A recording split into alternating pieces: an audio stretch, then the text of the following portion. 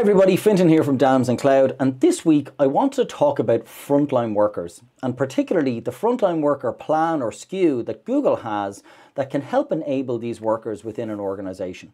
So if you're a business that has frontline workers or sometimes called deskless workers, over COVID, the term frontline worker became very popular, common, but essentially an employee that isn't sitting at a desk like I am now uh, and working away on a computer, then this is a plan or SKU that that uh, could be very cost effective for you as an organization or business. And we have customers who are small businesses who have frontline workers and have implemented this, and very very large customers with thousands of employees um, who have implemented this. And again, as I said, it can be a large cost saving for you as a business while also maintaining the security features uh, that, that businesses and enterprises need. So I'm going to go through uh, a couple of different areas. I'm going to go through what is the frontline worker SKU, what are the scenarios where you might need it or use it, what are the limitations of it that you need to know about, uh, we can also talk about the cost, um, and what are the sort of FAQs that some customers have when implementing frontline workers, uh, the frontline worker plan. So, firstly, what, what, what, what is it? So, the frontline worker SKU is a, is a plan or, or, or SKU from Google that is has enterprise level features when it, in terms of security and things like that. But but Google have reduced uh, some of the the features uh, like, for example, in a Google meeting, you, you know, a frontline worker is unlikely to, to be needing to use recordings and polls and Q&A and breakout rooms in a Google Meet like a, a desk-based worker uh, would be. They can still participate in them and someone else can be doing the breakout rooms and things like that, but they're unlikely to be the ones driving that as a frontline worker. So um, it, it Google have reduced some of these sort of you know, extraneous features that a frontline worker just would not need or use, and therefore have been able to offer the plan at a much, much more cost effective level. Okay. So that's the idea of the frontline worker plan. There are two versions of it. There is a frontline uh, standard, uh, sorry, excuse me, frontline starter and frontline standard. The frontline standard uh, primarily, the, the difference is it has Google Vault and it has some additional security features as well. Um, we will uh, do maybe a downloadable with uh, a comparison of the of the two. Uh, one of the, the major restrictions to be aware of is that, that a frontline worker is restricted to five gigabytes of storage, and they don't have the ability to be an editor on a shared drive. So that's one of the caveats. Um, I think what's important, maybe though, um, before we kind of dive into it, is to talk about frontline workers themselves. So 80% of the global work workforce are actually frontline workers, and and so there's you know this is a huge cohort um, of the the world's workers who are deskless, who are often in service or healthcare or retail, um, and are often consumers of of information, and they often need information and data to perform a task.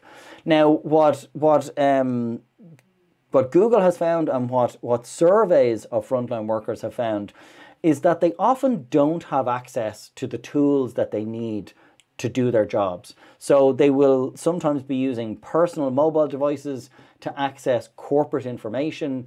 Uh, corporate information is being sent to maybe personal Gmail or Hotmail accounts. And so that data is leaving the organization, uh, you know, being consumed on a personal device, on a personal account. And when that employee leaves the business, they're, they're technically taking that data with them.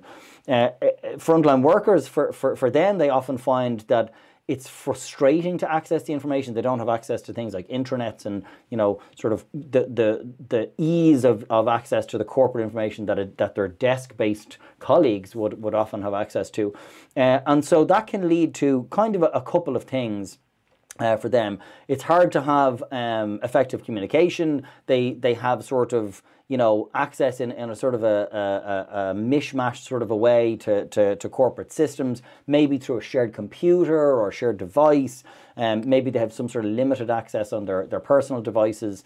And, and what it often leads to um, is that, that fragmented technology often leads to a loss of productivity and efficiency. The employees uh, can sometimes be frustrated and, and it can increase the, the turnover of staff. Uh, it can sometimes lead, which is what um, companies don't want, it can lead to a poor end user experience for the customer, and it can sometimes lead to impact on your brand identity and sort of customer churn. And again, because the the frontline workers don't have access to the information and the knowledge that they need to actually um, uh, you know, action what they what they need to do as a frontline worker, you know, it, it can cause those sort of business problems. And then the last one I've sort of mentioned already, it's that security risk. So you're you're letting data leave your organization in a lot of cases by having to send this information to uh, personal accounts. We came across a customer once that, that was sending information to thousands of, of employees on their personal devices on personal email accounts. And with the frontline worker SKU, we were able to bring all of that information um, you know, securely into the, into the corporate sphere and in a cost effective manner because the frontline worker SKU is, is much, much um, more cost effective than some of the enterprise plans. So for, um, for, for Google, the, as I said, the, the two plans that are available is this frontline uh, starter and frontline standard. Um, some of the, the kind of uh, um, FAQs that we get from customers is the shared drives piece that I mentioned. So are your frontline workers going to need to edit documents en masse? Now, there are some workarounds to this where you can have a group, you can add the group to a, a, file, but you can't add them to a shared drive and have them be able to, to edit the, the files in that shared drive. They can have view access and be sort of commenters and, and viewers, but not that sort of edit capability en masse. So that's something just to, to, to be aware of. The limitation of the five gigs, as I mentioned before, also really, really important. Um, but I think, as I said, it's a fantastic way to to give access to um, your, your employees who often, as frontline workers, will feel disconnected from the organization because they don't have an email address and they don't have access to the internet and things like that. And, and our experience is when customers do use the frontline worker SKU to kind of connect with those, those workers, they feel more part of the organization. They're able to engage a company all hands. They're able to join, you know, the company all hands Google Meet broadcast and ask questions and things like that. Um, access documentation that they need to, to do their jobs, but also engage engage with their, their colleagues as well on things like Google Chat. So it, it, really enables those frontline workers, and that's kind of the goal of the frontline worker um, plan for Google. An, another interesting one is AppSheet. So AppSheet is Google's no-code solution, and a lot of customers will use the frontline worker SKU to give the, the frontline workers access to their general corporate environment and secure them, identity management, all that kind of stuff, all the good security that comes with Google. But also with AppSheet, you can then start to develop applications, automate some areas that maybe in the business were previously manual or didn't have a, an application. That then can be deployed down to those end users and again securely accessed via their account, their frontline worker uh, account. So um, it is very, very valuable. I am going to find out the exact price of both because I know that is going to be a question. So the last area I wanted to cover was pricing. Uh, I had to go and find that because I didn't have it open. Uh, in dollars, just to give a comparison, the frontline worker starter is $5 and the frontline worker standard which has the um, Google Vault and some of the additional security is $12 per user per, per month.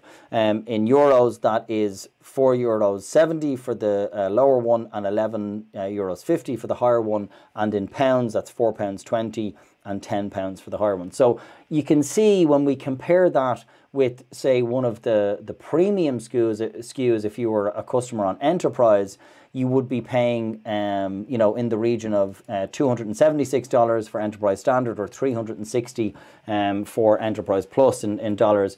And again, similar sort of prices in, in euro and sterling. So if you're a company that's got, you know, a, a thousand uh, employees, and you've got you know 500 employees who are frontline workers, you don't want to be paying $360 a user for your enterprise plan particularly when these users don't need all of those features, as I mentioned. So the frontline worker SKU makes it more accessible.